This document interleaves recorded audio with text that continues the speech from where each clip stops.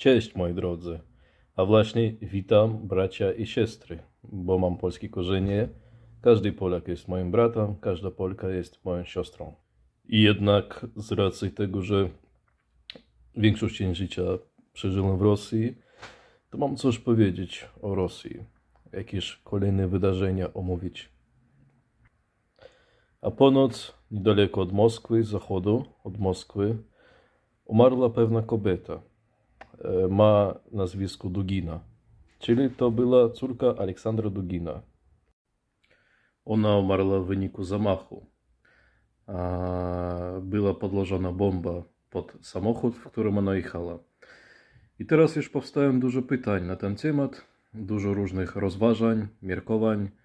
E, Ludzie uważają, że to był zamach na Dugina. Jednak chciałbym temu zaprzeczyć, ponieważ córka Dugina też bawiła się w politykę, zajmowała się tym, wspierała teraz wojnę i w ogóle udzielała temu tematu dość dużo czasu. Więc e, celem tego zamachu mogła być sama córka Dugina, a nie on sam.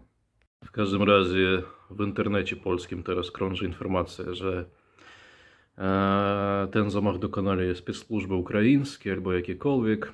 Mm, Ostatnio spецслужby ukraińskie e, dobrze działają na granicach przy zonie frontu, mm, również w Krymie, natomiast wątpię, żeby córka Dugina byłaby celem tych spецслужb, ponieważ nie ma ona wielkiego znaczenia ani w tej wojnie, ani w ogóle w sytuacji geopolitycznej. Tak, Dugin e, jest ideologiem e, eurazjatyzmu i w ogóle imperialistą.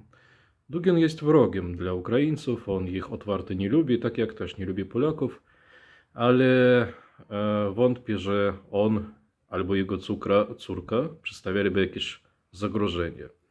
Najprawdopodobniej, że ten zamach jakoś związany z wewnętrznymi grami tam w Rosji, w polityce rosyjskiej.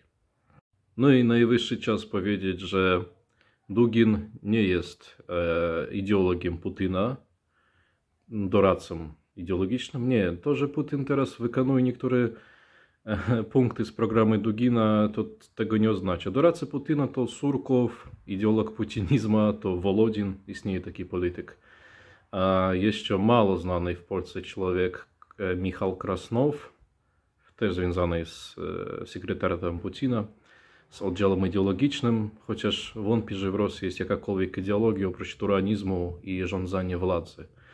Natomiast Dugin, e, podkreślam, że ja go nie wspieram, uważam nawet za e, rywala i wroga narodu polskiego, ale jest to człowiek, k- który przynajmniej napisał dużo książek filozofskich, ma ciekawe pomysły w sobie, w swoich pracach. No i ideologia imperializmu e, traktowanie sąsiadów tak jak przedmiot własnego podmiotu byli określane przez Dugina jeszcze w 90 latach, ponad 20 lat temu.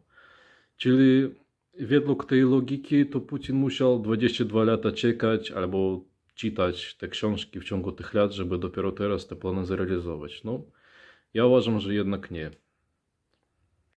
Ale ta sytuacja, to wydarzenia wymagała komentarzu. Ktoś mnie zapytał o tym, no zdecydowałem odpowiedzieć, ponieważ e, to temat interesujący dla obecnej geopolityki, czyli temat w ogóle Dugina.